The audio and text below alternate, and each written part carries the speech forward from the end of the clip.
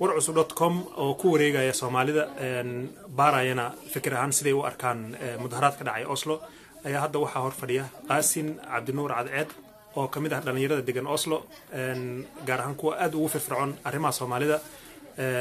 Mudaharaadkana joogay kana qayb qaatay. Qaasin see wartaa mudaharaadkaas? Oyinka mudaharaadka hogaaminaya sos racism la yiraahdo oo norway dowladda norway xarsh u hayaan journaalada norway lagu qoray. Inay hor kacaan soomaali see waragtaa runtii horta dee anigu wax wadanka criminaalka ahu dadkeena inay hogaamiyaan raalli kama ihi qofku waxaa rabaa marka uu wax hogaaminayo ama aad wax aad ku darsanaysid ama uu danta aad leedahay aad doonaysid inaad garab ka dhigatid qofku waa cad yahay inuu aad dan moodid ma aha. Qofku waa inuu yahay qof wadankana subcad ku leh dowladdana wax sheegi kara joornaalka iyo saxaafadda iyo warkiisa la maqli kara weynu. Dad dowladdu goobaysa oo dambiilayaala annaga dembigooda iyaysan naga soo gelin iyaysan nala soo gelin. Mana wanaagsana waxaas in soomaalinimada lagu dhex qaldo soomaaliya la celinaa kun iyo lix boqol oo qof markay maqleen ee ayagana inta soo bannaan baxeen soomaalidii waraaqa darbiyay ugu dhijiyeen saddex qof oo soomaali oo kalena way la shaqaynaysa. Waraaqdan waa waraaqdii caddaynaysay waxyaabihii ay ku sameeyeen dowladda sos rasisma waa waraaqadihii corruptionka. Waa si fiican waa u fiirin kartiin. Waa caddaymo la hayo ma aha iska hadal hadalka ma fahante caddaymahaasaan haynaa marka soomaalida in la isticmaalo ma ahan sideedaba calanka jaallaha markaan aragno waa inaan ka cararnaa hadda kabacdi cabdiftax mudaharaadkii sos racism ay hogaaminayeen see waragtaa sida marxin aftahminiin sida la sheegay runtii waxaan u arkaa orta qalad bay ahayd. Sababtoo ah soomaalida waxaa laga soo imaadan oo ay mudaharaadka maalin caada ka dhigtaan kow. Talabaad inayna horkacaan dad maanaa maxay criminal ah oo weliba maalin kadib ku adyaana ayadana qalad bay ahayd labo. Websiteka war cusub dot com waxaa hor fadhiya naciima cabdiraxmaan oo ah siyaasiyad ka tirsan xisbiga rot ee ka mid ah xisbiyada norway waqti dheerna soomaalida maaragtay arrimaheeda ka shaqaynaysay. War cusub dot com waxaa soo gaaray cabasho badan oo ku saabsan mudaharaad koldhow ka dhacay oslo. Mudaharaadkaas naciimo way joogtay. Waxaan isku dayaynaa inaan ka wareysano naciimo in mudaharaadka nooga waranto. Naciimo mudaharaadkaas ma joogta aday horta? Run ahaantii ani mudaharaadka waan joogay heesta soomaaliyana waan ka qaaday oo maadaama ay isku soo baxayeen dad badan oo soomaaliyeed inaan tuso qiiro inaanan meesha ka maqnayn. Laakiin mar dambe ayaan waxaan ogaaday ururka hogaaminayay banaanbaxa in uu yahay urur isagaba dacwo ku furan tahay dowladda norwayna ay ku dhegan tahay. Ururkaasna uu hadda ka hor corruption sameeyey dad badanna laga xirxiray. Saas awgeed markii aan ogaaday ayaan isla habeenkii waxaan u duubay soomaalida markii la ii sheegay arrintaas. In dadkan black list ay ku jiraan ayaa la ii sheegay saas awgeed ayaan marka soomaalida warbixin u soo siiyey laakiin hadda waxaan keenay caddaymo rasmi ah oo waxyaabihii ay sameeyeen aan soo baaray oo waraaq caddayn aan u hayo. Ma waxaa leedahay urur hadda kahor dowladda norway xarsh u haysay oo norwejian ah ayaa soomaalidii hogaaminayay oo maaragtay isla socdeen. Haa run ahaantii ururkan waa urur macnaha hore isku dhaawacay ee corruption badan ku sameeyey dowladda norway. Dowladda norwayna aan la dhagaysanaynin hadaladooda أوكي ما حعدينه هاي سادة جمر. أخذ سيان هاي عدين تا وحق أسكب لابن يسوع داق بلاد يسوع قوي ودوم كرتا.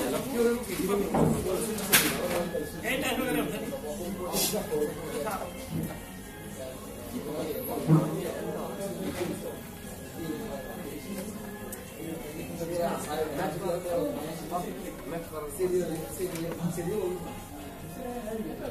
Oo waxaa ku qoran halkan in ayaga laftirkooda iska shifayaan oo ay leeyihiin vitomta contona oo brenta reinskabana dadkii ka shaqaynayay meesha laftirkooda ayaa isqarxinaya hay'addan oo la dhaho sos racismi marka maxaa ku kalifay laakiin soomaalida nacimo in maaragtay ayaga ma dhigan karaan miya mudaharaad? Run ahaantii aniga waraaqdan markii aan arkay ya oo macnaha kiisaskaas ay geysteen oo labada dhinac ay uga qoran yihiin dadkii la xiray iyo sidii loo xiray iyo ayagina is sheegeen ayaan waxaan habeenkii markii aan macnaha uu ii sheegay nin caddaan ah uu igu yiri naciima dadkan aan la socotaan waa dad corruption ka sameeyay dowladda norway marka dad u soo baxo ma haystaan waa afar ilaa shan qof maadaama aysan dad haysanin iyo waxay ku andacoodaan ayay waxay ku soo gambanayaan soomaalida. Marka soomaalida in magacyadooda la isticmaalo ama wejigooda ma ahan. Haddii dad kriminaal ah oon la maqlaynin oo dowladda hore corruption ugu sameeyey ay macnaha raacayaan soomaalidii ayagana hadalkooda waxba lagama soo qaadi doono. Marka waxaa loo baahan yahay soomaalida hadday wax samaysanayso in ay iskeed u samaysato banaanbaxyo oo noo gaar ah waraaq scriftry la qoraayo madaxda sarena loo dhiibaayo oo nala maqlayo hadalladeena hadda qofna maqlaysaba ma laha. Gabadhi maalintii la toogtay dadkaana la isticmaalaya banaanbaxoodii waxba lagama qabanin waa ogeed. Haddana maanta waxay maraysaa arrimihii celiska oo dadka soomaalida wadanka waa laga celinaa la yiri. Ayaga markay maqlaan wax yaroo soomaali laga sheego way soo orkacsadaan. Markaasay soomaalida u yeertaan. Soomaalidana way isku soo ururaan waxa ay samaynayaan wax kale ma yaqaanaan kulligood waxay u badan yihiin. Markii la fiiriyo an alfabet macnaha dadaan iskuul soo dhigan iyo dad wadanka ku cusub. Markii la dhaho banaanbaxa inta ka jiro waan soo wada cararnaa. Si macnaha aan u ogaano wixii jiro. Laakiin eh, dadka qaar ma ogaan karaan wixii jiro. Oo maxaa yeelay qaaraan banooshkaha ku hadlin qaaraa wadanka ku cusub. Banaanbax le la maqlaa la soo ordaa. Laakiin dadka aqoon-yahanada ah guryahooday joogeen marka waxaa loo baahan soomaalida inay wax fahmaan aqoon-yahanadana laysku soo ururiyo urur la midaynayo oo hal laga dhigayo in la sameeyo. Ilmaheena waa la qaadanayaa dhalinyaradii waa la durooyaa qaarkood oo waxaa waaye markuu dagaal yar galo oo agrasiif noqdo waxaa lee wuu waalan yahay waa la duraa cirbadaa loo dhiibayaa gabdhihii waa kan maanta eh, shaqo la'aan la wareereen jidadkay taagan yihiin. Ma fahamti dhibaato badanaana haysato. Marka dhibaatadan waxaa lagu xallin karaa in soomaali community uu hal noqdo qabiilkana layska dhaafo laysku yimaado hal meel laga wada dagaalamo. Laakiin intaan toban jaaliyadood kala furano iyo boqol ururoo kala duwan nin walbaba jeebkiisa wax ku aruursado horumar ma gaarayno. Marka waxaa loo baahan yahay soomaalida in shirar badan la qabto laysku yimaado لقوه هذا لا هذا كمل علم لقاطه هذا هو كلا لوس وصعدا جمعة ولا اللي علمي لقاطه هذا نايا يعنى ما يلاقوا عرران. يقف يكون جنب ذا يقف عدو كعلي مهستان على عرر الجري أبو قاتة وقبن جري. وحول بان معناه قد كي قال أنا كده بقول جري. بان وان كبرنا. بحي علوس وقسمين جري. وير هذا لكن هذا ما دام دولة تصير عيسو وحاسيب بدنا علمي هي والقاضي نايا مرك أرمي هاس محاوق inaa isku duubni soomaali la helo. Way baxeen amerikay u qaxeen dagaalo culusaa ku dhacay dagaalkii labaad adduunka aa ku dhacay. Inta way ka qaxeen waxay aadeen america america markay tageen waxaa lagu soo dhaweeyey gacmo furan. Aa lagu soo dhaweeyey waxaa la siiyey dhul garaatiis ah ay degaan. Sharciyaa la siiyey. Ilaa hadda way degan yihiin wax soo noqdana ma lahan. Wa- waxaa la dhahaa waa norwegian americana la dhahaa marka hadda inay macnaha dadka soomaalida ay- ayaga ay celiyaan ma ahan. Maadaama wadanka dagaal ka jiro sharciga f n kana way jibiyeen. Qofka yaqaana yaqaano sharciga hore u akhristay. Sharciga f n ka waxaa ku yaalla qofka markuu dagaal wadankiisa ka jiro in la siiyo wuxuu cuno in la siiyo meeluu seexdo in daawadiisa laga warqabo. Eh, mudaharaadka hadda dhacay eh, nacimo haddaad eh, dib ugu laabato maxaa ka baxay shaqakaas waxba kama soo bixin. Qof dhagaysanaya ma laha. Waa black list dad ku jiro. Waraaqdii waantaan ku tusay si fiican ugu dhaweey soomaalida tusi si macnaha aan loo isticmaalin ayaga iyo maxay ahaaday ilmahooda. Macnaha haddii dadkaas aan lug ku xiran waxaa naloo malaynayaa fallaago wadanka dagaalka kicinayso. Haddaa aragtidna banaanbax badan wuxuu keenaa colaad iyo dagaal. Marka dagaal iyo colaad wadankeena uga soo tagnay. Wadan kale inaan gubno ma aha waa inaa anaga wixii xaqeenna ah anaga doonanaa inna loo doono ma aha. Dad oo macnaha dowladda hore corruption ugu soo sameeyey. Inay noo doonaan ma aha. Waa inaa anaga doonanaa xaqeenna hadday noqoto ilmahana laga qaadanayo hadday noqoto dhallinyarada lagula degdegayo cirbadda ee la duraayo hadday noqoto maxaa la dhahaa eh, guryo la'aanta inaa anaga doodno waayo okay waqtiga la dhigay dad badan oo nala soo xiriiray war cusub dadkom la soo xiriiray waxay leeyihiin waqti habeenaa la dhigay. Waxay leeyihiin warqad ma la dhiibay horta maaragtay ma loo dhiibay maalin sabtii oo stuurtingaha laga maqan yahay ayaa la qabtay. Se arrinkaas wax yar ma ka dhigi kartaa? Runtii soomaaliya la celinaa kun iyo lix boqol oo qof markay maqleen. Ee ayagana inta soo bannaan baxeen soomaalidii waraaqa darbiyay ugu dhejiyeen saddex qof oo soomaali oo kalena way la shaqaynaysa وراقدان ووراقدي عدينيسي. وحيابيه يقسم يندولد صوص رسيسمة. ووراقدي كوربشن كا وسفي عم وفيرن كرتين. وعديمو لهايو.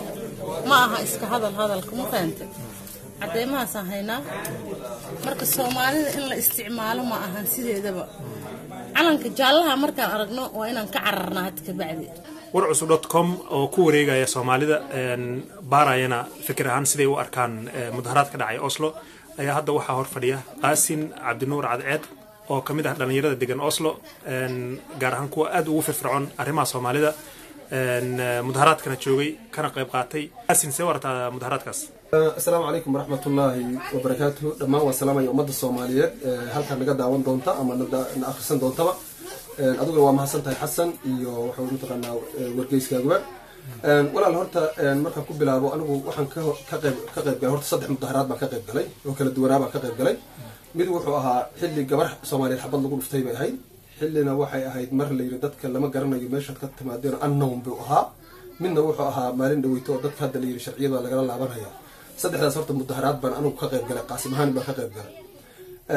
Runtiina mudaharaadku uma akaynin siduu markii u socday dadku haysu yimaadeen dhibna ha diidanaadeen taasu sax bay ahayd.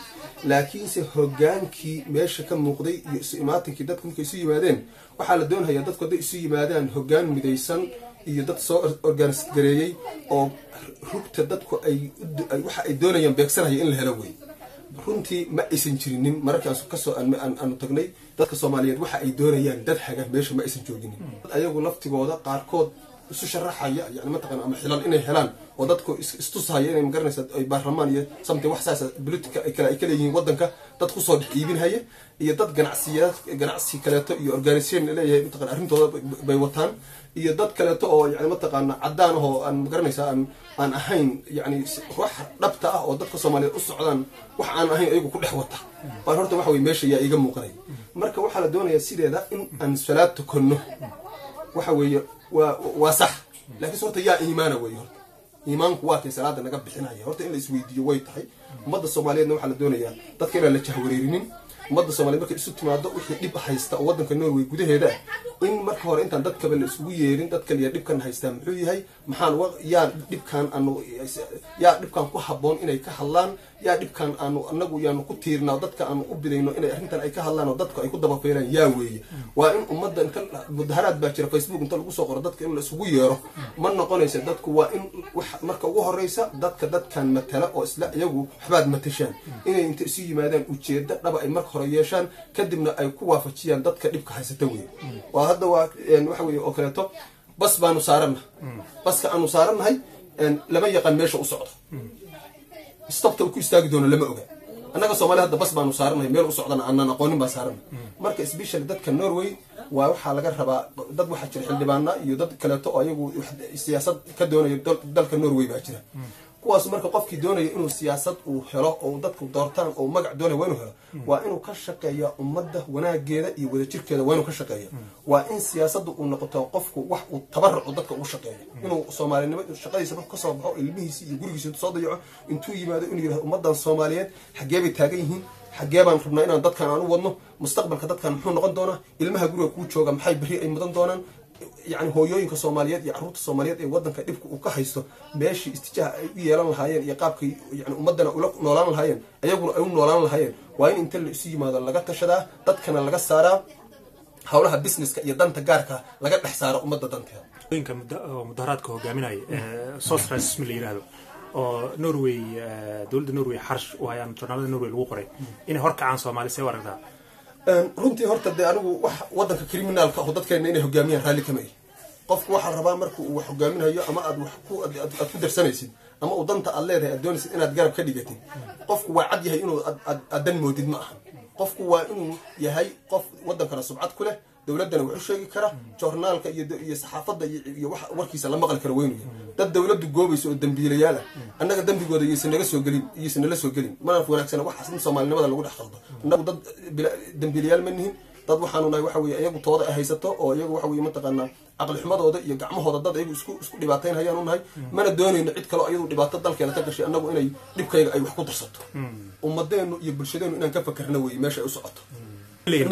Basaska norway oo kale hadda soddon iyo kow soddon iyo labo soddon mid walba number leeyahay bulshadeenu yani waxay saaran tahay bas bilaa lambar ah. Meel ku istaagi doono aan la aqoonin bay saaran soo garta ma ma garata xitaa darawalka wada aadan laba hadli karin nin bay saaran waad oran karin war loo jooji meel cid laba ha ahaatee marka waxaa la doonayaa dadka soomaaliya inay mar kastaba mar kastaba iyo yani mar walba ku celcelina dadka soomaaliya danteeda qofku inuu danta kale ka dhex saaro.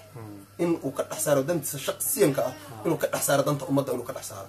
Oo bis dadka dowladda loo socdo saacaddaas ma joogaan sturtingana ma joogaan waa habeen. Marka soomaali badanaa hadda waxay weydiinaysaa war cusub oo la soo xidhiidhaysa maxaa habeen loo dhigay leeyihiin maya taas waa taas de wa- waa khalad khaladka marka waxa saarna shacabka ma saarayno annaga shacabku khalad ma leh waxa khaladka saarana ciddii dadka soo organis garaysid baa khalad kale oo maalin isku soo beegtay waxa weye mataqana habeennimo iyo maalin aan shaqo ahayn. Sidiisaba gebiga maalin sabti maxaa saddexda maalmood maalmo kendihay ahaayeen maalmo weliba inta de boolisku hadduu diido oo yira waqtiga anagu waqtigaas in waqti aan ahayn inima ogolin hadduu yiraahdo waa wax gooni ah oo dowladdu ay diido waa wax gooni ah moogta laakiinse fursadii haddii la heli karo oo lagu ogol yahay oo adigu aad choice ka leedahay xilligaad dooni aad dalbanaysid xilligaad saacadda aad dal- aad dalbanaysid haddaad choice ka leedahay waa in xilli munaasib ku ah oo ummaddu ay shaqaynayso oo dadku yani la oran karo dadkan maxaa ku dhacay bar horta dad la isweydiin karaba.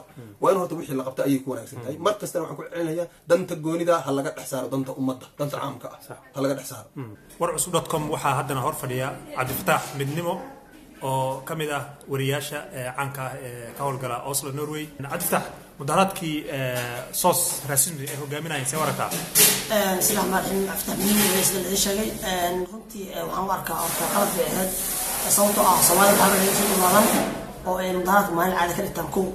Talabaad inayna horkacaan dad maanaa maxay criminal ah oo weliba maalin keliya ku adyaana ayadana qalad bay ahayd labo midda saddexaadna dadka xildhibaanada sheeganaya hadday xildhibaan yihiin bay xilhayaan waxaa filan ayaga intay imaadaan ay run dadku u sheegaan ay maalinta ay qabaan dadku u sheegaan sababtoo ah mudaharaadka waxaa laga yimid ilaa stefan ilaa waxaa laga wadaa bergen. Dad baa gawaari wateen laakiin maalin weekend ay imaadeen aad baa uga xumahay.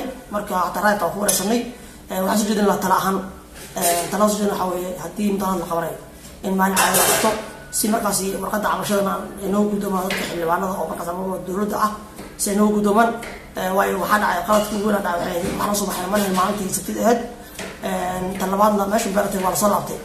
Marka dadka xataa nuguji qaar wadooyin bara waxay weydiiyeen dadka mudarada yaa waay wax alla lama wadan. Dadku waa si socdeen oo sidii xoolo waa la socday meesha la tegay haddana waa la soo laabtay. Marka waxaan dhihi lahaa keliya qof walba meesha dadka yaa lagu qaline mudaharaad maalin fiican aan qabsano